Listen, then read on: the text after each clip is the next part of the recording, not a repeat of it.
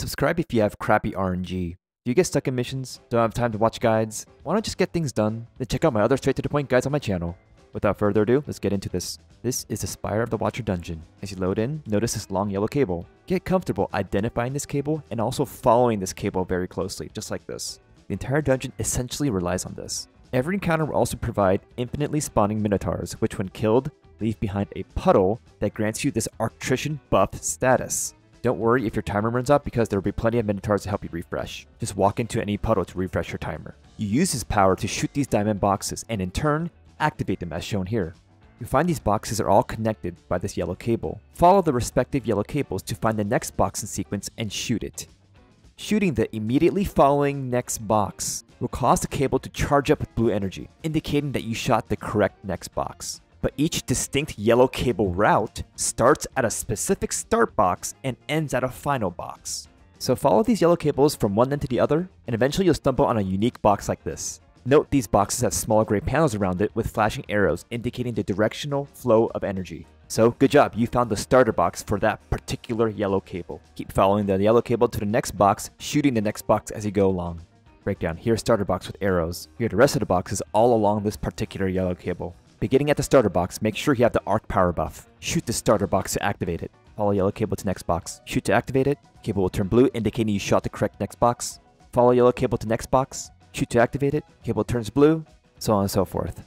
The yellow cable routes aren't always straight. They can zigzag and be tough to follow. Lastly, there are even red cables for later. So completing all yellow cable routes means all yellow cable circuits are done and are blue. The game will tell you when you've done that successfully. Shooting next correct box will extend your timer. First encounter. Right away, you'll notice four yellow lines in the center, aka there are four separate circuits. You guessed it, this means you must complete four of these arc circuits, or also known as yellow cable lines, using the mechanic we just discussed. So, start off by just following each yellow cable from this end to the other and find each yellow cable starter box. Begin from here, follow yellow cable to the next box, shooting them as you go along. Continue following the yellow cable to the next box, and keep on doing this over and over and over. Refresh your arc power buff as needed from the Minotaurs. As shown, I'm shooting the last box in the final yellow route. Complete all four and you're done. Heads up, there's a starter box on the left side of the map. It's hidden at the end of this tunnel shown here. With all four yellow cable routes done, you descend down, explore a little, obligatory platforming section, and our goal is where that star is located. You'll see a gravity lift, and just keep on going up. Be prepared for more yellow cables and more starter boxes. Climbing the spire.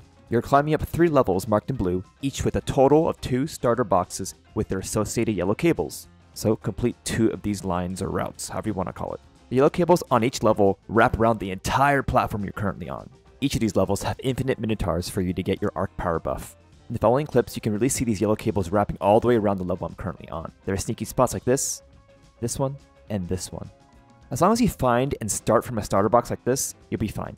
The next box shouldn't be able to escape you, like this.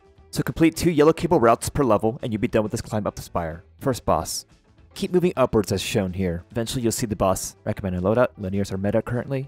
Bring hard hitting, add clear weapons. In the middle you'll find four starter boxes, each with their associated yellow cable circuit. Each yellow cable route leads to a shiny fuel block at the end of the platform. There are four in total. You probably guessed, we need to complete all four of these yellow cable route circuits. Simple, just begin from each starter box and follow their yellow cables. Getting to DPS requires completing all four arc line routes. You still have an infinite supply of Minotaurs spawning in order to get your Arctrician buff. Buff in hand, shoot starter box, follow yellow cable, shoot the next box, continue following yellow cable, shoot next box. Keep doing this until you reach the end, and shoot final box. Do this four times. Let's go step by step. Here's layout with starter boxes in middle, fuel rods in each corner. This is example yellow cable routing for the four arc circuits we must complete. All cables are blue, meaning all circuits are now complete. Assume this was the last route to be completed. If so, the entire team must converge on this final rod's position because the boss goes wherever the last route or fuel rod was completed. Example, the team is completing their yellow cable route circuits. All completed. Teammate Awesome Panda was the last one to complete theirs. Therefore, DPS on his position. I make my way over to his position. We stand right in front of the fuel rod. Wait for boss to reveal pimples. Shoot all pimples off. Once all pimples are gone, shoot his center eye with everything you got. Move with him and shoot him, but move along the edge of the catwalk because there are potholes in the catwalk. At the end of the DPS phase, he will literally push you away, so be ready. Or you can hide in this pothole if you're ready. Repeat as necessary to get to DPS. Get your arc buff from Minotaurs, shoot starter boxes, complete all four, meet up by last completed fuel rod, wait for boss, shoot boss pimples, DPS the boss, kill him. Good job, now you get to go back down. Next encounter, progressing through rooms. As you descend through the next few rooms, you'll notice red cables instead of yellow cables, but very familiar shootable boxes. There will still be Minotaurs everywhere, so kill it and get a buff. And these red cable version boxes have no starter box. Just shoot all of them in each room as quickly as you can. There's likely an internal timer, but just be quick about it. As shown, I'm actually looking for the last one, and it's right over here on the right side right here. There you go. And the floor opens up below you. These red cable circuits or routes function essentially as a setup function. We'll see more of that later. Keep practicing with this and keep moving down. This room has one in the middle right here and along the walls right there. So in each room, just get familiar with these red cable versions. Final encounter. Recommended loadouts. Linears are still meta. Bring your best ad clearing loadout. The starter room could be split into left and right. Note the red cable version boxes. There are five total as shown. On the same pillar, these red cable boxes actually have a corresponding yellow cable box behind each one. And they happen to be starter boxes as well. Same exact thing for the other side. Here are the two shown here. Of course, you have infinitely spawning Minotaurs. Get your buff from here. You're still following yellow cables from the starter box, going to the final box. As shown, this does take you into the second half of the room as well. As shown in these clips, you'll see that there are a lot of boxes hidden in these nooks and crannies, so just be mindful of that. Let's go step by step. You have your red and yellow cable version boxes on each pillar, and then one red cable version box on the main diamond door. A back room that we'll get into later. Grab buff from Minotaur. Shoot all five red cable boxes as shown. Don't forget the one above the door. You get a message. Now something will happen. We just shot all five of the red cable boxes, so they're glowing blue as shown. Now, two of the four yellow cable starter boxes will become shootable. It'll be obvious if it's shootable, because it'll be opened up.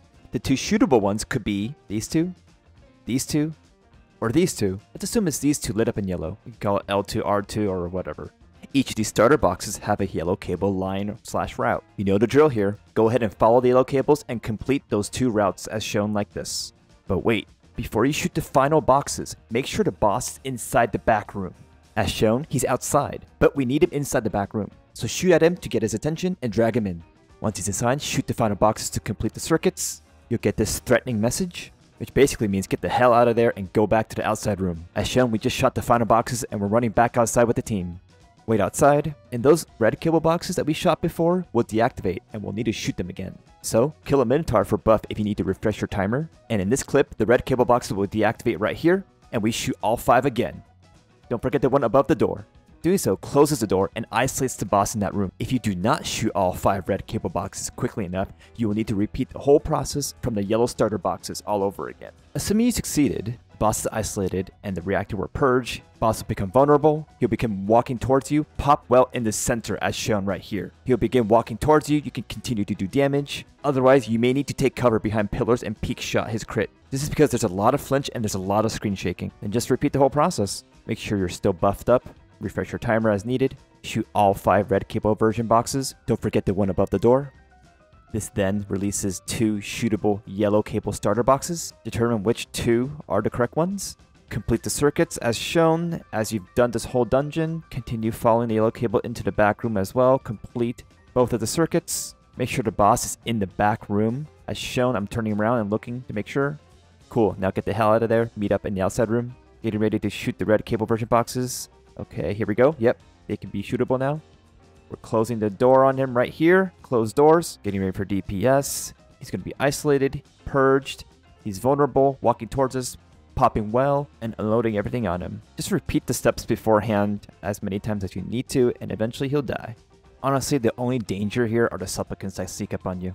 I release this video as fast as I can so I worry about quality, but hopefully this is straight enough to the point that anyone can clear it. And if this helped you in any small way, comment below how it did or maybe comment below how it didn't. I really do listen to all feedback and hopefully you see the changes in these guides. In any case, I'll catch you guys next time.